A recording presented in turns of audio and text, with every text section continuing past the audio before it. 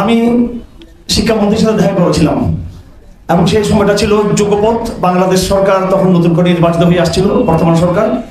আমার সাথে সাথে এটা আবার নতুন শিক্ষাবর্ষের সূচনা ছিল। তো আমি দুটো বিষয়ে চিন্তা করলাম। একটা হলো সরকার নতুনভাবে ক্ষমতা এসছে, এবং সাথে সাথে নতুন শিক্ষাবর্ষ শুরু হয়েছে। দরকার ছিল আনুষ্ঠানিকভাবে হেফাজ ইসলাম পক্ষ থেকে বৈঠকটা হওয়া কিন্তু সেই সময় সময়ের স্বল্পতার কারণে আমরা তৎকাল চট্টগ্রামে যারা ছিলাম মৌলানা সফা নিজাম পরিহারাতে আমাদের শিক্ষক এবং হেফাজত করার দায়িত্বশীল সহ সবাই আমরা কিন্তু হতে পারি নাই তৎকাল যারা ছিলাম আমরা তার সাথে দেখা করেছি। বিষয়টা খুব গুরুত্বপূর্ণ। আমরা সরকারের মন চেষ্টা করেছি। তিনি যেটা বলতে চেয়েছেন সেটা হচ্ছে যে তারা খুব প্রেশারের মধ্যে রয়েছেন এবং সরকার ইচ্ছাকৃতভাবে সেটা করে নাই। অর্থাৎ তাদের সদিচ্ছার এখানে কোনো অভাব ছিল না, তাদের মধ্যে যথেষ্ট ইসলামের প্রতি ভালোবাসা ইত্যাদি। উনি প্রাইভেট অনেকগুলো কথা বলেছেন যেগুলো আমি এখানে আনতে চাই না কথাগুলো। তিনি বলতে চাচ্ছেন, ওনারা এমন জায়গা থেকে প্রেশারের সম্মুখীন, যাদেরকে অ্যাভয়েড করা সম্ভব না, জাতীয় বা আন্তর্জাতিক। কথাগুলো তিনি খোলা খোলামেলাভাবে বলেছেন। এবং একটা কথা তিনি বলেছেন, আমরা মূলধারা থেকে বিচ্ছিন্ন। আমি এখানে ওলামাই কারণ আমাদের নেতৃবৃন্দ রয়েছেন, তাদের দৃষ্টি আকর্ষণ করছি। এটা হলো সরকারের মূল মন এই জিনিসটা। আমরা আমরা মূলধারা থেকে বিচ্ছিন্ন, আমরা আধুনিক অর্থনীতি পড়ি না। সেই হিসেবে কিংবা কীভাবে আমরা আধুনিক অর্থনীতিকে সংস্কার প্রস্তাব দিব? আমরা রাষ্ট্রবিজ্ঞান পড়ি না। রাষ্ট্রবিজ্ঞান এই পরিবর্তনের প্রস্তাব আমরা দিতে পারি না। আমরা স্কুল, কলেজের ইতিহাস, সাহিত্য, সংস্কৃতি পড়ি না, মাদ্রাসা পড়ানো হয় না। সেজন্য এগুলো বদলানোর আমাদের প্রস্তাব দেওয়ার অধিকার নেই। এই কথা মন্ত্রীকে এবং প্রধানমন্ত্রীকে, গোয়েন্দা সংস্থাগুলোকে এবং যারা শিক্ষা কমিটি সরকারের যে কমিটিগুলো রয়েছে, সংশ্লিষ্ট, তাদেরকে বুঝিয়েছে। তারাই বলেছেন কিছু নাস্তিক, বিশেষ করে এনজিওরা এমনকি আলিয়া মাদের সাথে সংশ্লিষ্ট কিছু নেতৃবৃন্দ তাদেরকে কথা বুঝিয়েছেন যে কর্মীদের কোনো অধিকার নাই শিক্ষা নিয়ে কথা বলার জন্য। এই ক্ষেত্রে আমি খুব সংক্ষেপে যেটা বলতে চাই সেটা হলো, ওনাদের উদ্দেশ্যে আমি তখন মিটিংয়ে বলেছিলাম যে আপনি আমাদেরকে যেভাবে জনবিচ্ছিন্ন মনে করতেছেন সেটা ভুল কথা। কারণ যদিও আমাদের সিলেবাসে আধুনিক এই বইগুলো নেই, কিন্তু ব্যাপকভাবে আমরা ওয়াজ মাহফিলের মাধ্যমে সেমিনারের মাধ্যমে সিম্পোজিয়ামের মাধ্যমে আমাদের ব্যাপক গণসম্পৃক্ততা রয়েছে এবং শিক্ষা সংস্কার যে প্রস্তাবগুলো আমরা দিয়েছি, এগুলো আমাদের মূল্যতান্ত্রিক দাবি নয় হুজুরদের দাবি নয়, এগুলো জনগণের দাবি, শিক্ষিত লোকদের দাবি। আমি আমি তাকে চ্যালেঞ্জ করেছি মিটিংয়ে যে এই দেশের এই শিক্ষার যে সেকুলারাইজেশন শিক্ষার যে ধর্মনিরপেক্ষকরণ, বড় নাস্তিক্যকরণ তার বিরুদ্ধে যে জাগরণ, শুধু ওলামাই নয়, আমি তাকে বলেছি এবং তার মাধ্যমে তার সরকারকে বলেছি, এই জাগরণ স্কুল বিশ্ববিদ্যালয় থেকে উঠে এসেছে। আমাদেরকে যেটা করতে হবে প্রথমত হেফাজ ইসলামকে এমন এক জাগরণ সূচনা করতে হবে।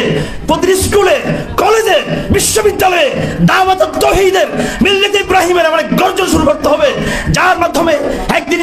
ছেলেরা বলবে কলেজ ছেলেরা বলবে, বিশ্ববিদ্যালয়ের ছেলেরা বলবে, প্রিয় শিক্ষক, আমরা এই সিলেবাস মানতে চাই না। আমরা নতুন এক সিলেবাস চাই। তহিদ ভিত্তিক সিলেবাস যেখানে বিজ্ঞানের সাথে তহিদের সমন্বয় থাকবে, রাষ্ট্রবিজ্ঞানের সাথে তহিদের সমন্বয় থাকবে, এবং অর্থনীতির সাথে তহিদের শিখ সমন্বয় থাকবে। এই দাবি নিয়ে যখন কলেজ, বিশ্ববিদ্যালয়ের যখন জাগরণ উঠবে আধুনিক শিক্ষাকে প্রত্যাখ্যান করবে, তখন টিচাররা বাধ্য হবে সরকারকে বলার জন্য যে আমরা এখন এই অবস্থায় নাই যে সিগুলার শিক্ষাকে আমরা ছেলেদেরকে পড়াবো। আমাদের দায়িত্ব হলো এখন সে জাগরণ তৈরি করা, আমার ভাইয়েরা। একটা পয়েন্ট বলে শেষ করে দিচ্ছি। আমাদেরকে মনে করা হয় আনাড়ি, অশিক্ষিত, খ্যাত ব্যাকজেনেট এটা আমাদের কিছু সাংবাদিক ভাইরাও হয়তো কিছু, আমি সবার কথা বলছি না, কিছু বুদ্ধিজীবীরা, কিছু রাজনীতিক, কিছু ব্যবসায়ী, কিছু যারা সরকার দেখতে আসেন, তারা মনে করে থাকেন। অশিক্ষিত আমার ভাইয়েরা ব্যক্তির নাম চাই। তিনি আমাদের উস্তাদ, জাস্টিস উসমানী। শুধু একদিনের জন্য বাংলাদেশে তাকে আনা উপস্থিত করা উচিত আমি মনে করি।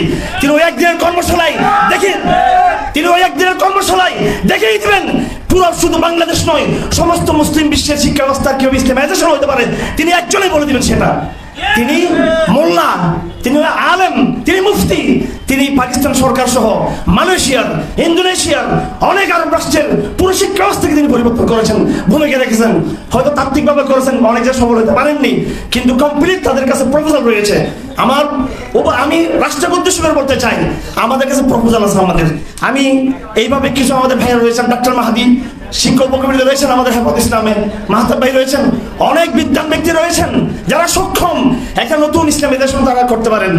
এবং আমাদের মধ্যে, বিশেষ করে জলমাই কেরাম, আমরা হীনমন্ডতার শিকার আমরা। আমরা মনে করি আমাদের একেবারে কিছু করে নাই।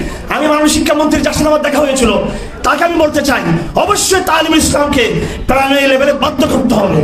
এবং এটা আমরা ওলামাই কেন বুঝি না যে তালিম ইসলামটা কি কিতাব। বেশি যাওয়ার কিতাবকে ষষ্ঠ শ্রেণি থেকে দশম শ্রেণি পর্যন্ত বাধ্যতা বাধ্যতামূলক পড়াতে হবে এটা। আমি চট্টগ্রাম শহরে ইসলাম কিতাবটা পড়াই ইঞ্জিনিয়ার, ডাক্তার, প্রফেসর, র্যাবের অফিসার, পুলিশ, আমি নিজে সেটা সপ্তাহে দুই দিন আমি ক্লাস করাই। এই জন্য ওলামাই কালামকে প্রথমে নিজেদের আত্মমূল্যায়ন, আত্মনির্ভরশীল হওয়া, নিজেদের ঐতিহ্য সম্পর্কে আগামী অবদান সম্পর্কে আমাদেরকে সে আত্মমূল্যায়ন থাকতে হবে। ভারতবর্ষ রাষ্ট্রপতি থানি রহমতুল্লাহ আলী সামাজিক আন্দোলনের মাধ্যমে সমস্ত নারীদেরকে প্রথম থেকে শিক্ষার তিনি বীজ বপন করেছেন।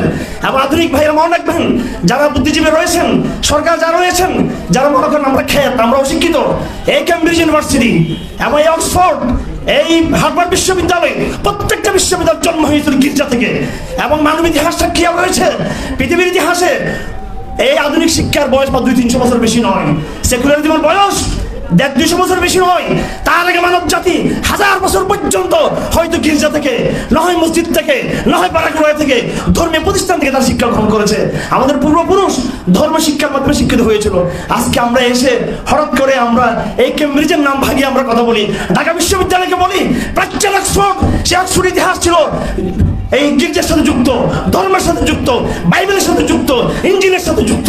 সুতরাং আমরা যে দাবি দিচ্ছি ইসলাম এদেশের দাবি, এটা কোনো ব্যাকডেটের দাবি না। এটা কোনো পশ্চাৎপর দাবি নয়। এটা বড় সময়ের দাবি, বৈজ্ঞানিক দাবি আর বাস্তব বাস্তবসম্মত দাবি। এ কথা আমাদের সকলকে বোঝার তফিক দান করুন। ওয়াহরুদ আলহামদুলিল্লাহ আলমী